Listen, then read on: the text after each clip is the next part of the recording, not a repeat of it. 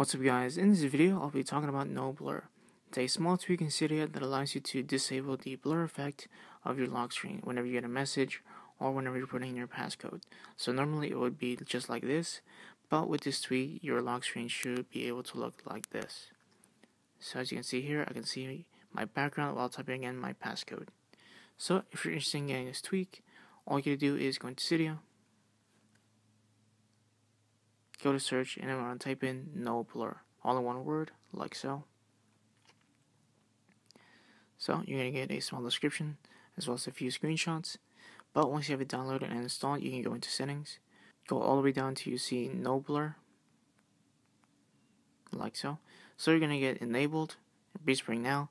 It should be disabled by default. So when you enable it you have to respring. At the bottom here you get dark mode if you have it enabled, it's going to darken your background. So in case you do have a bright background and you can't see the text, you will want to have this enabled. And at the bottom here, you get your support. Visit my website and follow me on Twitter. So to better explain dark mode, like I said, pretty much gives a darker tint to your background, like so.